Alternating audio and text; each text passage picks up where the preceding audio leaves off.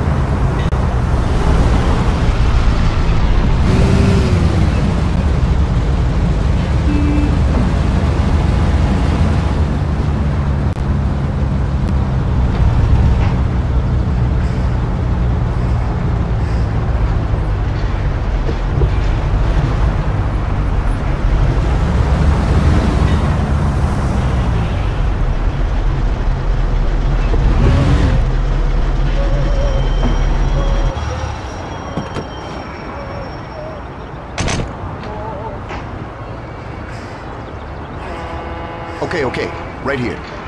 This is perfect. Since we're all here, I want to ask you about something. What's on your mind? Well, I got this idea.